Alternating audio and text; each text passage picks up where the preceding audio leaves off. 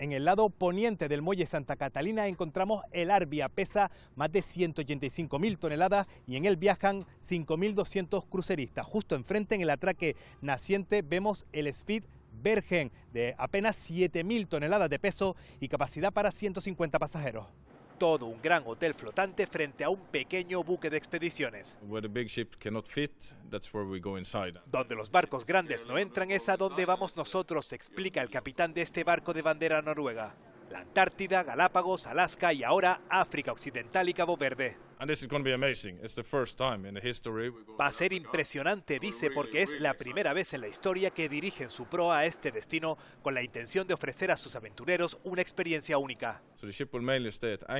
Fondeamos el barco y tenemos ocho zodiacs para ir a las playas donde realizamos excursiones a pie en ambientes reales.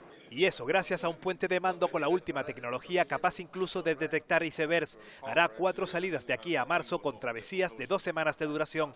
Es la primera vez que un barco de expediciones estará basado en el puerto de la Luz y de Las Palmas. Abriendo zonas nuevas como es el tema de África, Cabo Verde, etcétera. Creemos que es un producto interesante y esperemos que lo copien. Este buque no tiene discotecas, ni tiendas, ni piscinas. A bordo, biólogos dan charlas de los exuberantes hábitats que visitan, su fauna o el fondo marino.